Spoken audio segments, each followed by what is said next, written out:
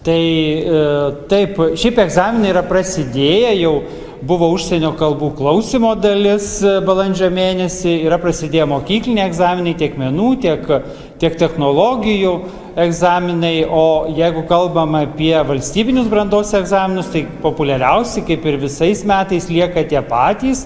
Tai užsienio anglų kalbos egzaminas, tai yra matematikos egzaminas, istorijos egzaminas, na, biologijos, informacinių technologijų egzaminai. Štai būtų tie, kurie e, populiarūs ir, na, geografijos egzamino šiek tiek yra padidėjęs populiarumas. Na, o kiti egzaminai - fizika, chemija, kitos užsienio kalbos, jų populiarumas e, mažėjantis arba išlieka tas pats. Ir šiais metais taip pat Lietuvoje gali ukrainiečiai laikyti brandos egzaminus, kokios jiems sąlygos yra suteiktos išimtų kalbų. Taip, tai e, šiemet sudaryta galimybė e, ukrainiečiams arba iš Ukrainos atvykusiems baigiamųjų klasių mokiniams rinktis ir laikyti brandos egzaminus.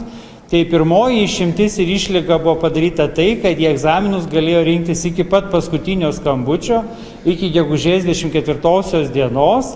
Tie, kurie pasirinko iki balandžio pirmosios dienos, jie yra įtraukiami į pagrindinę sesiją, tie, kurie vėliau, tai jie galės laikyti egzaminus pakartotinės sesijos metu. Tai tokių abiturientų nėra daug, 75, na, rinkosi apie 190 egzamino atvejų laikymo numatoma. Ir kita išimtis, kurią, na, atsižvelgdami ir suprasdami, kad atvykę balandžio, tai balandžio, vasario, kovo mėnesiais mokiniai tikrai neišmoks lietuvių kalbos, kad galėtų egzamino užduotis atlikti lietuvių kalba, tai jiems yra sudaryta galimybė egzamino užduotis atlikti A, ukrainiečių kalba. Ir jų atsakymai bus verčiami, kai grįž pas mus, verčiami į lietuvių kalbą ir vertinami bendraja tvarka visam vertinimo, tam internetiniai elektroniniai vertinimo sistemai.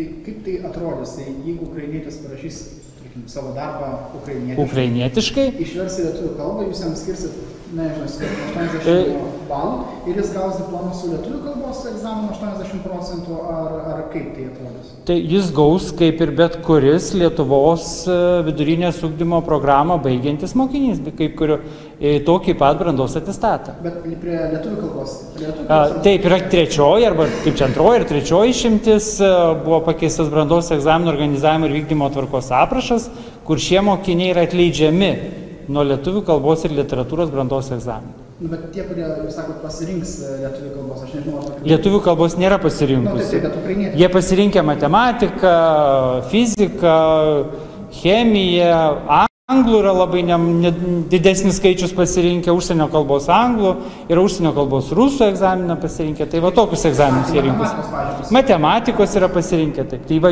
atsakymus į biologijos, fizikos, chemijos, istorijos, geografijos užduotis jie gali atsakinėti ukrainiečių kalba.